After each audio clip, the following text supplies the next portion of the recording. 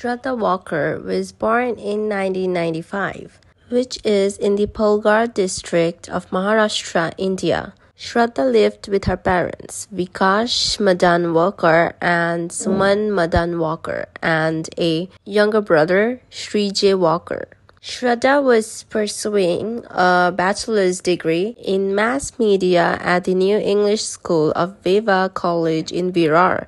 In their adolescence, Shraddha and her brother witnessed frequent fighting between their mother and father. Finally, in 2016, her father Vikash would eventually separate from his wife, Suman, and would move into a house with his mother, away from his kids and his soon to be ex wife. But in the same locality, Shraddha and her brother would stay in the family home with their mother. In 2018, Shraddha decided to take on full time work in order to remove some of the burden from her mother. Living in a small city of Palghar, which lacked the myriad of resources that a big city would boast.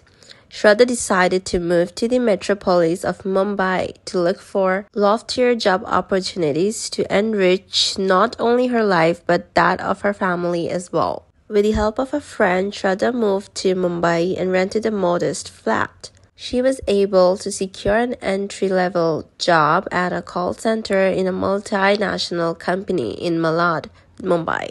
As Shraddha was a newcomer to the city, she was looking forward to making friends. And while working at a new job, Shraddha met Aftab Amin Poonawala.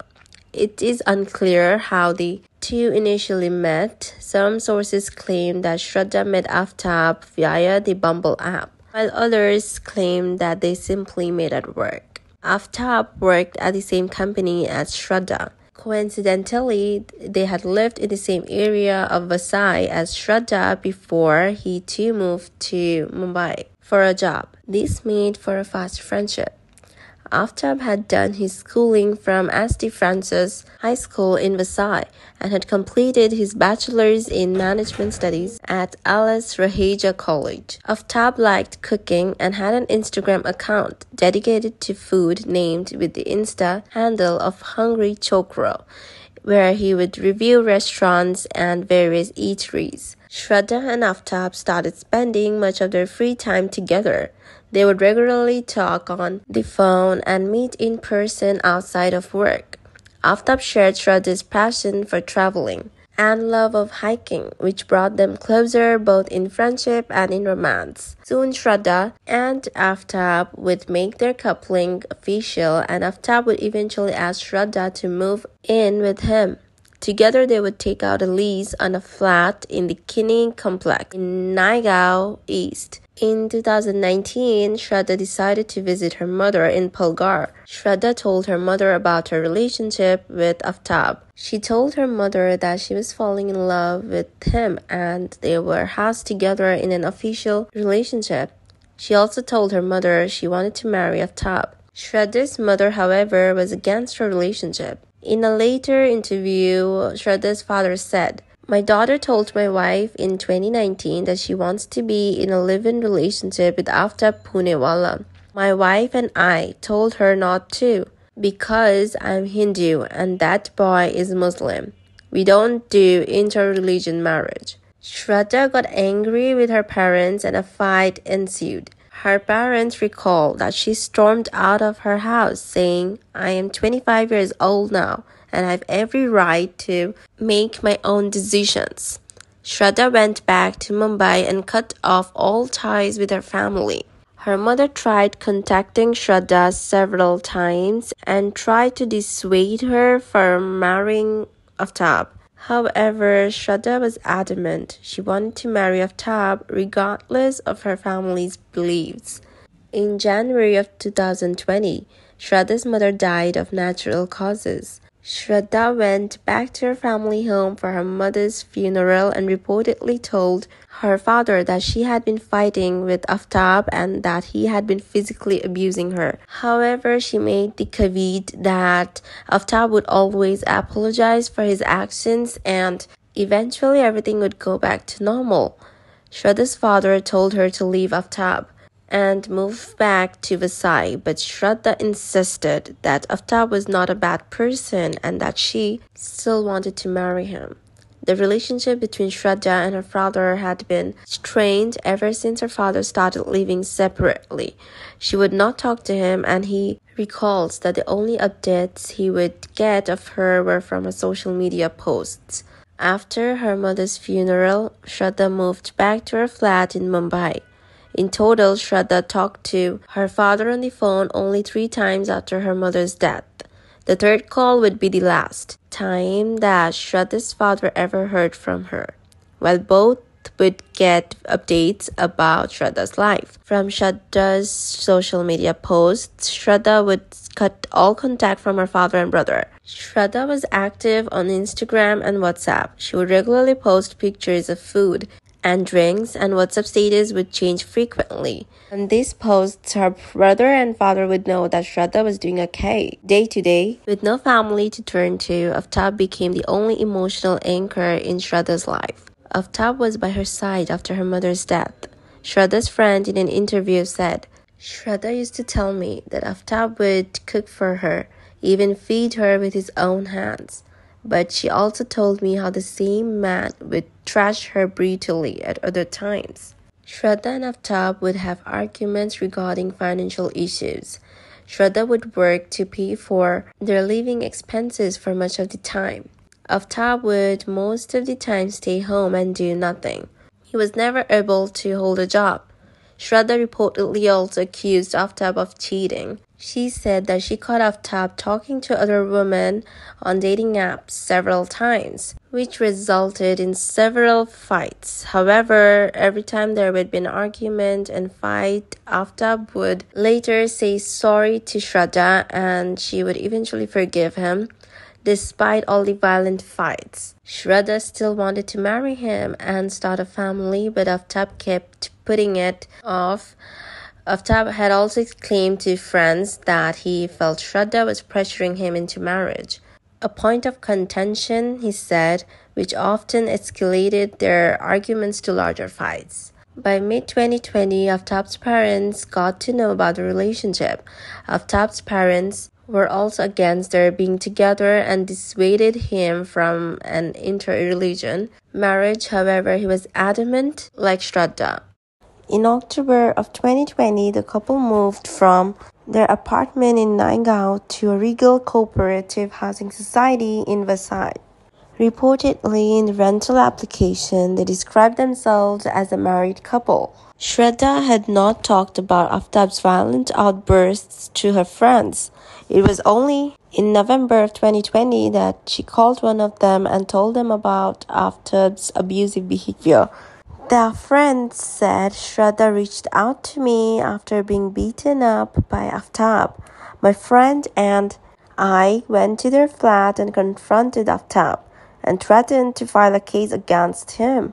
Shraddha stayed for two days at the house of a common friend, but then she again went back to him. I do not know what influence he had on her, but one thing was clear she loved him and was emotionally dependent on him. On November of 21st, 2020, after being assaulted, yet again, Shraddha went with a friend to Tulinj police station in Nalasopara to file a complaint. In the complaint later to the police, Shraddha said that Aftab had been abusing her and beating her and said that he even attempted to kill her through suffocating her. She further stated that he scares and blackmails me that he will kill me, cut me in pieces, and throw me away. It's been six months that he has been hitting me, and I did not have the guts to go to the police because he would threaten to kill me. In the letter, Shraddha claimed that Aftab's parents visited the couple on weekends and that they were aware that he beat her but she submitted the letter and the police asked her to get a medical exam for the official record. However, Shraddha changed her mind prior to doing so. Most likely, her friends opposed out of mortal fear. The police said that Shraddha had filed an application, but she did not proceed further with the complaint as she neglected to file an FIR. An FIR is the first information report used by police organizations to try cases. It is unclear, though, why Shraddha chose not to pursue her police report further, but some sources claim that Aftab arrived at the station and entreated her to take back the complaint before submission. Otherwise, he claimed that he would kill himself, while other sources claim that Shraddha never proceeded further due to Aftab's parents making the promise that Aftab would move out of the apartment. Even after all this, Shraddha stayed with Aftab, and regular arguments and fights continued throughout the year of 2021. Shraddha would pressure Aftab for marriage, but Aftab was reluctant, which led to frequent fights, often turning physical yet again. In 2022, in an effort to renew the relationship, they decided to move out of Mumbai and shift their lives to Delhi for better job opportunities and possibly to start a new life away from their families. But before moving, they decided to go on a hiking trip to Himachal Pradesh as both enjoyed hiking and they hoped this trip would be a turning point for their relationship. According to one of her friends, Shraddha had told him that she had saved him a small amount of money, which she hoped would last the couple for at least two months. They had hoped to find a job in Delhi after returning from their hiking trip. On 6th May 2022, the couple left for their brief rugged vacation, arriving back to their new home city of Delhi on May 8th. They checked into a hotel and stayed at the hotel for one to two days. On 11th or 12th of May, the couple went to a common friend who lived in Chhatarpur. The friend helped them find and rent an apartment in Chhatarpur. The couple shifted to the new apartment soon after. They hoped this would be the beginning of their new life. However, the problems they had in their relationship continued in Delhi. Frequent fights would occur about trivial matters. Shraddha's friends and family had no idea that she had moved to Delhi. Shraddha's father and brother used to get updates about her life from her social media posts. However, by September of 2022, Shraddha hadn't posted anything for many months. Worried, Shraddha's father and brother tried contacting her several times. However, her phone had been switched off. They contacted Shraddha's friends and they told them that Shraddha and one of the friends told them that Aftab had moved to Delhi a few months prior and had been staying and working there. However, they hadn't had any contact with Shraddha for the last few months and told them that her phone had been switched off for some time. Now extremely worried, Shraddha's father reported her missing to the Mumbai police station in September of 2022. The police started their investigation and soon tracked down Aftab living in the same Chhatarpur apartment. He was called to the Mumbai police station for questioning. He told police that Shraddha does not live with him anymore. He claimed that she left with another lover on 18th of May and that he does not know about her whereabouts. The police did not pursue him further, thinking that he was just a depressed boyfriend whose girlfriend left with another man. When the Mumbai police were not able to find any leads, they transferred the case to Delhi police as Delhi was the last known location of Shraddha. Shraddha's father traveled to Delhi in early November and gave every little detail that he knew to the Delhi police. Delhi police went to Aftab's apartment in Chhatarpur and questioned him. He again claimed that Shraddha left with a lover and that he does not know where she was. He also told police to find her quickly as he was worried, and he had tried to contact her but to no avail. Police then checked Aftab's call records and found that after 18th of May he had not contacted Shraddha at all. Police also found that Aftab had told his landlord a different story than what he told to the police about why Shraddha was not with him. Suspicions immediately fell on Aftab. He was then taken to the police station and interrogated. During this interrogation, Aftab broke down and confessed to killing Shraddha.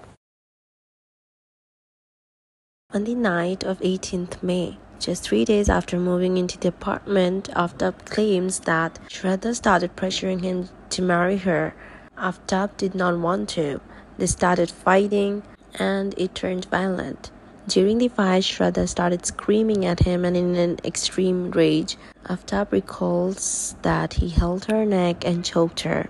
According to Aftab, he was trying to silence her. However, by the time he took his hand off Shraddha's neck, Shraddha was dead. Aftab told police that even though he realized that he had just killed Shraddha, he was oddly relaxed. Aftab continued and said that he slept that night in the same room where he had killed Shraddha. He then woke up next day and started planning regarding how to dispose of her body. Aftab loved watching crime videos and he admitted to the police that he was inspired by the American TV series Dexter. So the next day he went to the market and brought a new refrigerator. The following day he went out and purchased a saw, plastic bags, bleach and a backpack and also a few chemicals from different shops. All the while Shraddha's body was still in their apartment. He then dragged her body into the bathroom and then began chopping it into very small pieces. He then put them into plastic bags and put the plastic bags in the freezer. He would store the rest of her body in the lower compartment of the refrigerator, where he also kept his groceries. To mask the smell in the apartment, he lit several incense sticks and used disinfectants and chemicals. He also utilized several chemicals as well as bleach to wash the bathroom so that no blood stains could be detected by the forensics. According to police, Aftab's search history contained searches like how to destroy a body, how to remove blood stains, and how to decompose a body. Aftab recalled that after killing Shraddha, the breaking down of her body took 10 hours to complete. He recalls his exhaustion at the end of the arduous task and says that after he was done, he drank a beer, smoked some cigarettes, and proceeded to take a shower. Aftab told police that after completely chopping Shraddha's body off, he was tired but hungry, so he ordered food to be delivered at his home.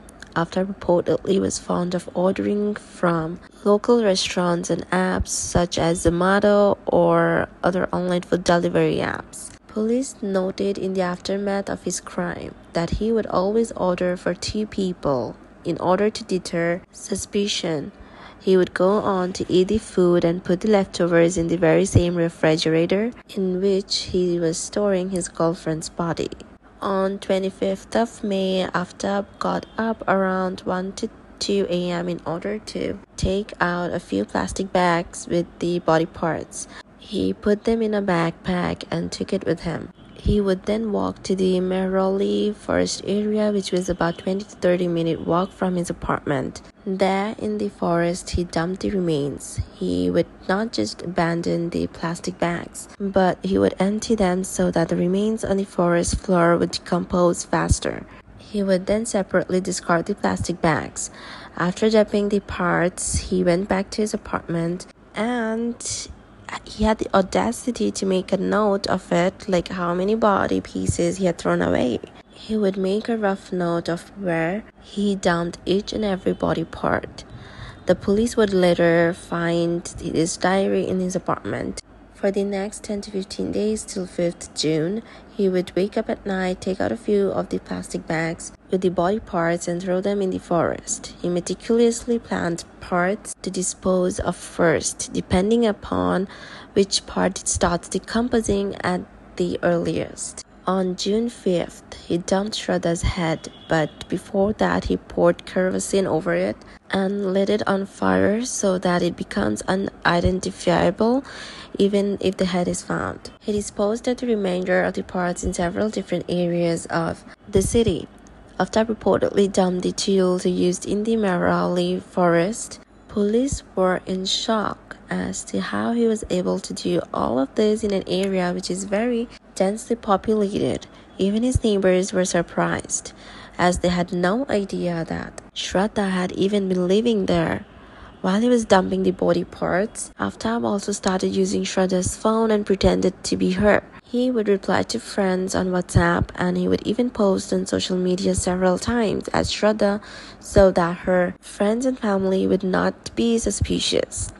Police also found that during this time, Aftab was active on dating sites such as Bumble. He met a woman through this app and invited her to his house. She stayed the night with him all the while Shraddha's body parts and her head was still in his refrigerator. The woman, however, was unaware of this. Police noted that Aftab was strangely calm and relaxed during this interrogation.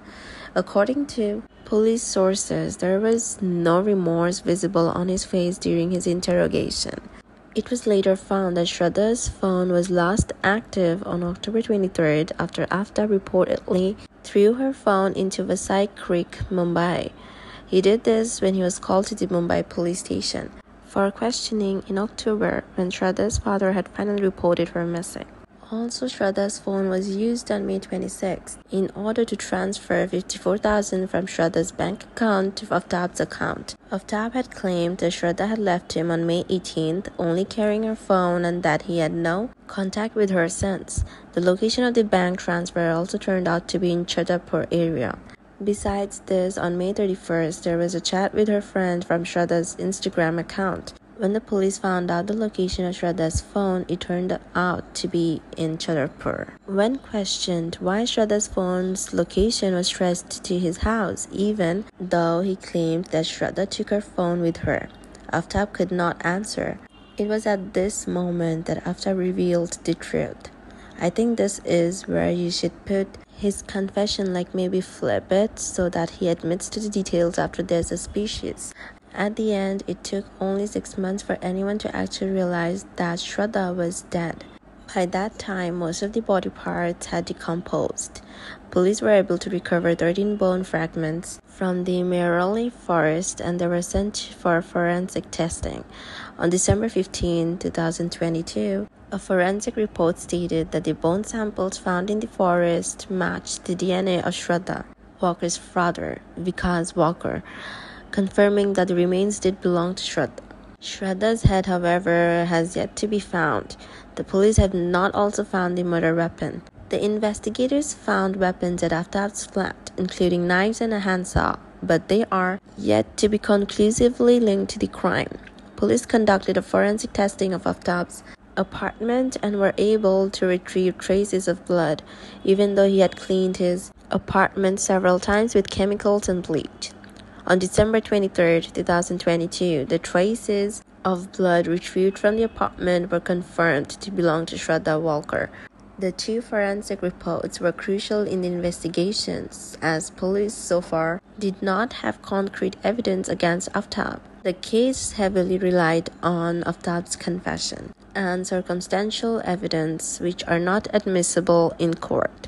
Aftab could have easily said in court that his confession were coerced and the police would have no choice but to let Aftab go. The Delhi police are scrambling to find corroborative evidence that would help in the investigation and result in a conviction. The investigation is currently ongoing, I believe. Shraddha's heartbroken family continues to hold out hope that the murderer will be brought to justice.